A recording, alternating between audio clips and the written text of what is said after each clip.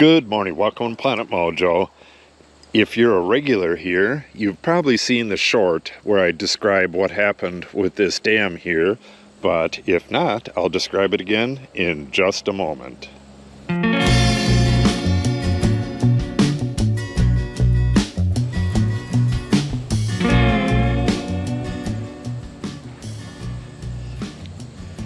We had a two inch rain here a few days ago, and what I think happened is that all of the roof water, you could see the three scuppers right there, all of the roof water made its way over into this area and was collected by this trench that I have here for this pipe.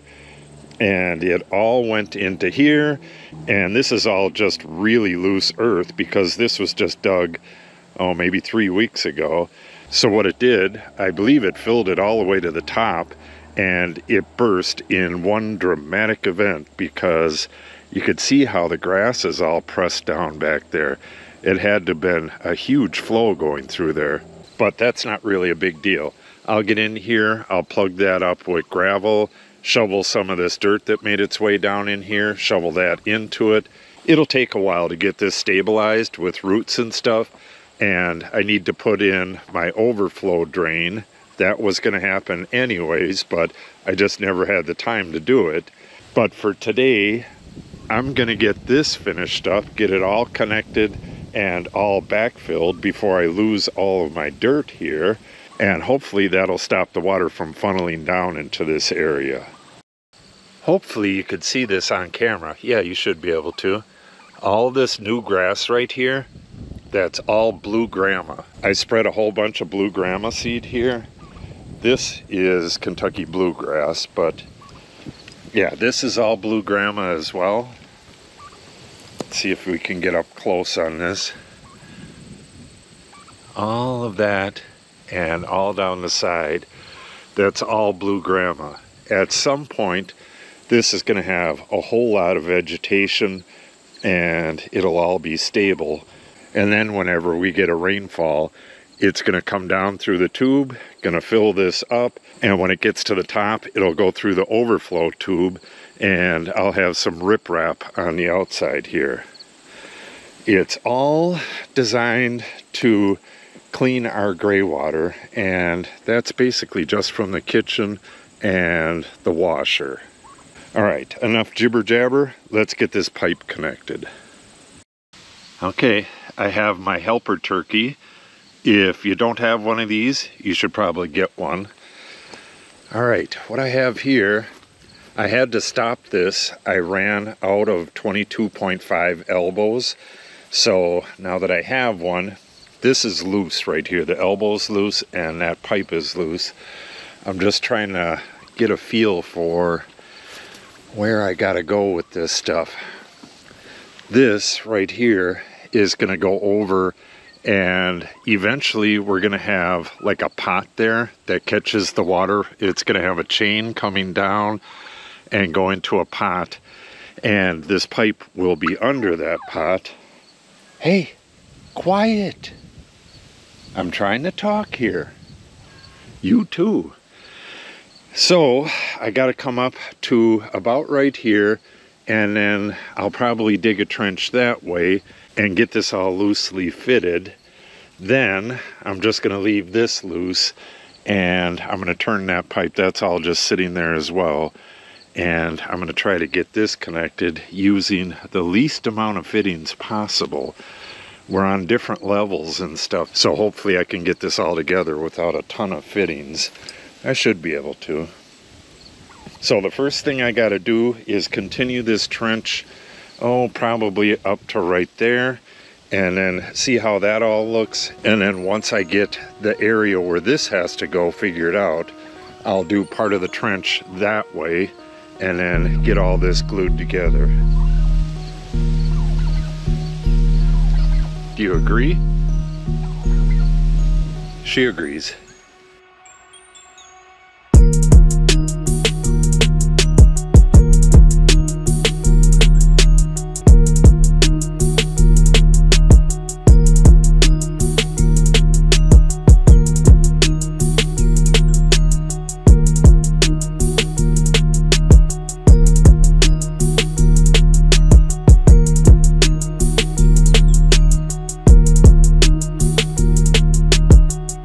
Went to go get some tools and as I was coming back, I noticed the sound coming from the trees back here.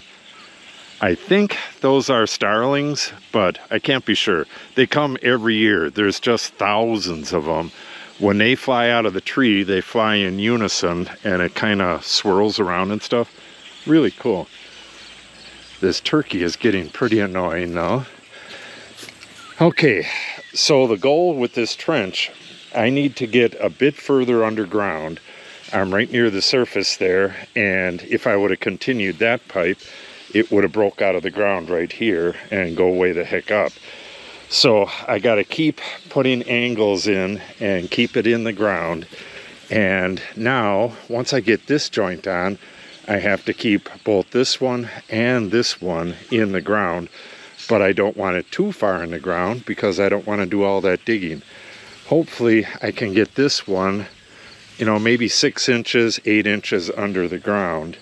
And I don't know on this one. This one's going to have to have an elbow to bring it back into the ground. That's why I stopped with that one because I came out of the ground right there.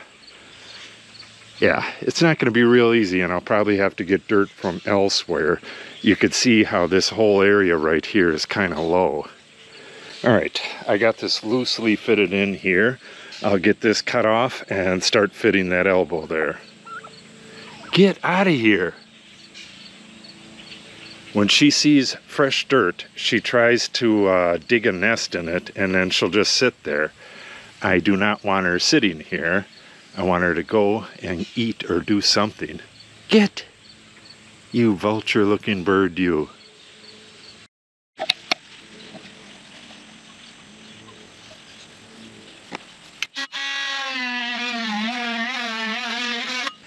All right, now Again, this fitting is loose. I'm going to connect this fitting to this pipe. Then I can play around with this pipe and see if I need to go down further. It looks like I'm going to have to take part of this hump out because we're getting pretty high over here.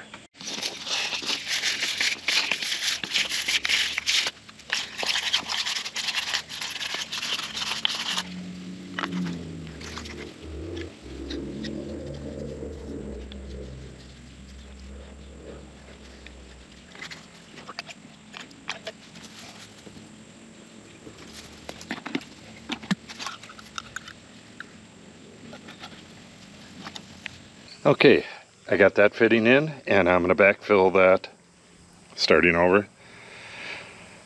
All right, I am test fitting my Y here. I have that fitting in and I'm going to get this whole thing backfilled in just a second. It'll hold my pipe steady, but it looks like I'm going to have to put a couple straight sections in. If I go at that angle, that right there is like pointing at the electric box right there.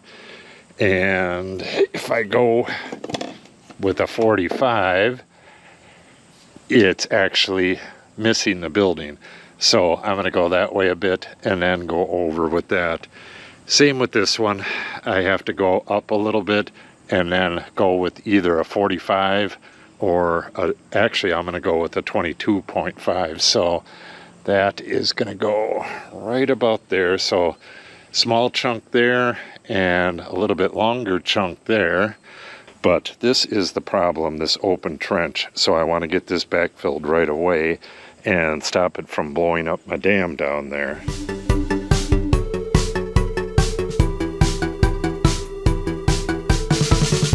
Okay, I got her all backfilled up to just below that Y now I got to run to town to get a 50 pound bag of oats. We're going to plant oats along the side of that hill, back here, and possibly on here, but I'm not sure. But I'm definitely going to plant oats along here, and I want to do that before I step this in. Oats grows incredibly fast. It only takes a day or two to germinate, so that should stabilize this area for the rest of the year. Next year, I'm going to be growing some shade grasses in the area. Hey, out of here! She just loves to explore bags, and it can get real annoying. She'll go back and forth between that bag and that bag and drive me nuts. All right, so the fittings on this one, I'm going to clear this off here and go back a little bit so I'm into the ground. Then I need a 45 to go down and then another 45 once I get underground a bit and then actually another 45 down this way. I have a street fitting right here. I can probably use that on this adapter like that. So this would go like that. Yeah, so I need, I have 145 right here. I need 145. I'll probably pick up more than that, but I need that stuff to continue. So I'm gonna run and get that real quick and then I'll be right back.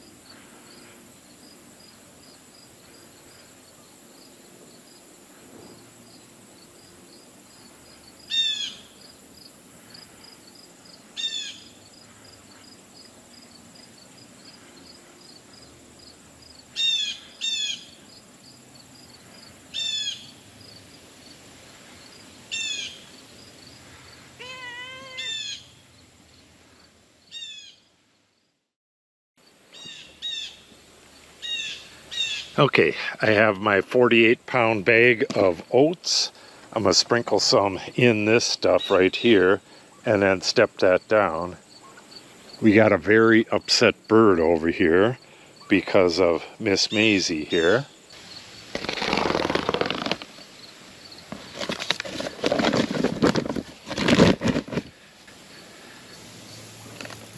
Oats.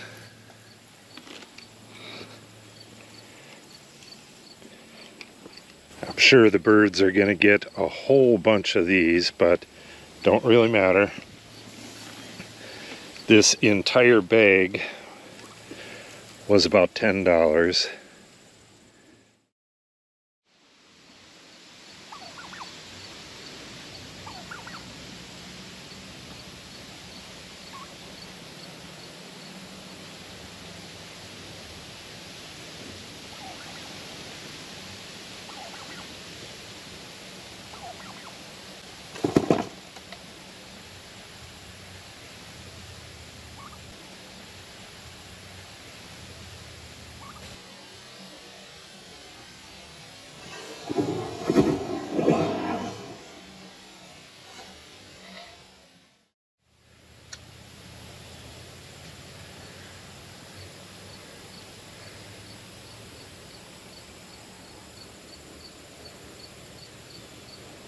Wow.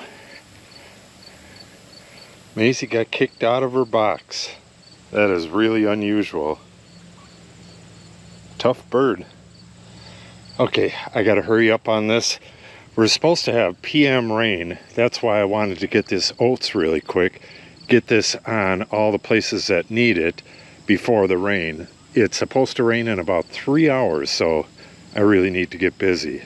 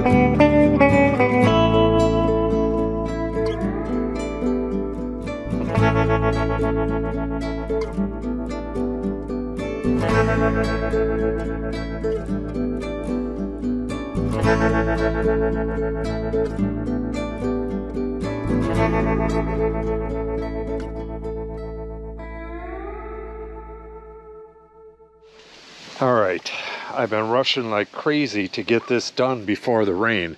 It actually started drizzling just a little bit a little while ago.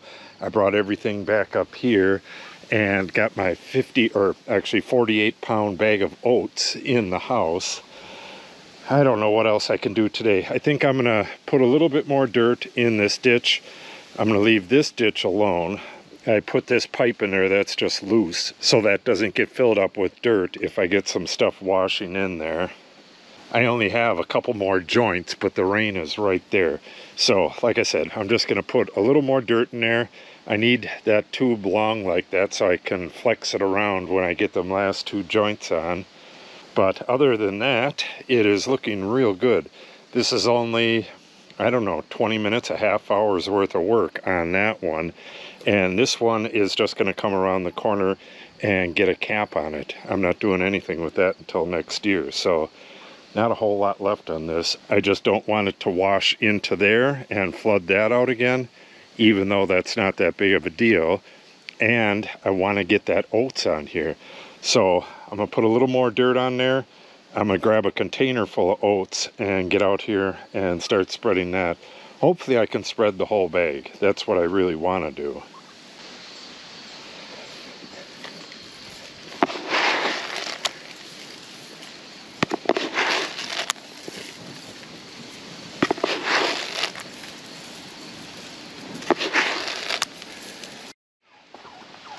I started tossing the seed and then it started raining again. It's just drizzling right now, but we're supposed to get a pretty good rain today.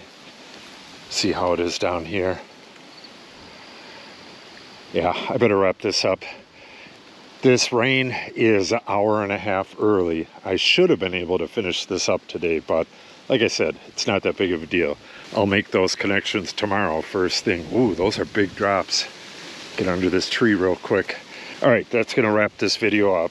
If you want to see more of this gray water pond action, just make sure you subscribe and click on the update icon. If you have any questions or comments, make sure you put them in the comment section below. Ooh, that's cold rain. And if you give the video a like and or share it, it helps the channel out greatly. Thanks for watching and have a great day.